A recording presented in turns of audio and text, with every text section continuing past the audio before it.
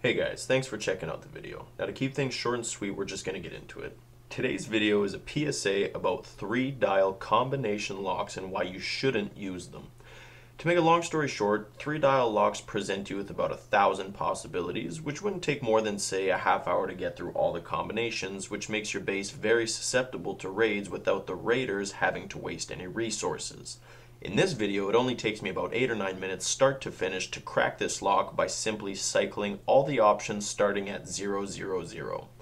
A 4 dial lock is a different story, however, because it pre presents you with roughly 10,000 combinations, which takes a considerable amount of time to get through all of them.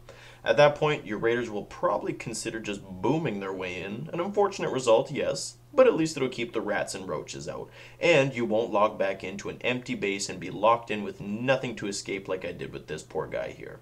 Dick move, sure, but sometimes after being gunned down countless times unprovoked, you start to lose sympathy in this hell game.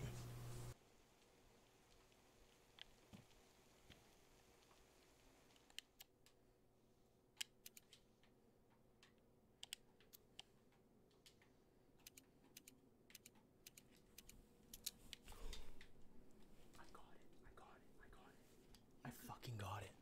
So he's got three dial lock. Don't need that. This is mine. This is mine. I switched the combo on him.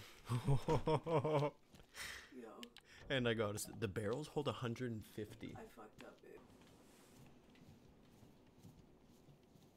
Poor guy's in for a bad time when he logs on next.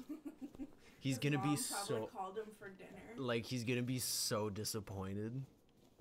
He leaves for supper, comes back, his base has been raided, he has no way to get out of it.